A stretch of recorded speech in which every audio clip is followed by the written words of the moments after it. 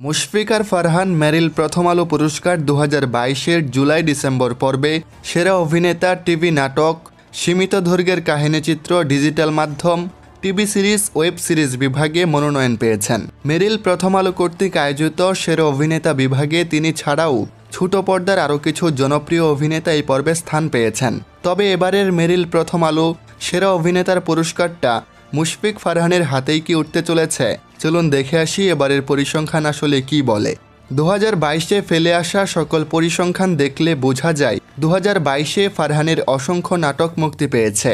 তবে সেগুলোর ভেতর গল্প, স্টারকাস্ট এবং শিল্পীদের অভিনয়ের দিক থেকে ভুলো না আমায় দরদ এবং ওয়েব ফিল্ম, হোটেল নিরিবিলি সব দিক থেকে কোয়ালিটিফুল কাজ।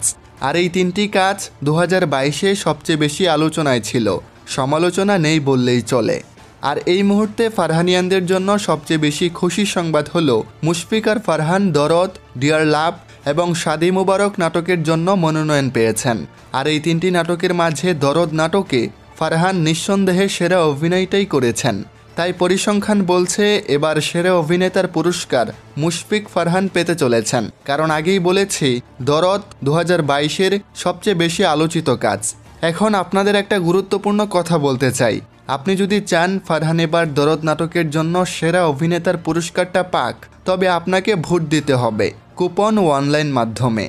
কীভাবে দিবেন সেটা বলে দিচ্ছে। প্রথমে মেরিল প্রথম আলোর ওয়েবসাইটে গিয়ে আপনার নাম, ইমেল, ফোন নম্বর ও পাসওয়ার্ড দিয়ে সাইন আপ করার পর আপনার ইমেইলে একটি লিঙ্ক যাবে। লিঙ্কে ক্লিক করে ইমেল ভেরিফাই করতে হবে। পরবর্তী পর্বে ভোট দিতে শুধু সাইন ইন করে ভোট দিতে পারবেন।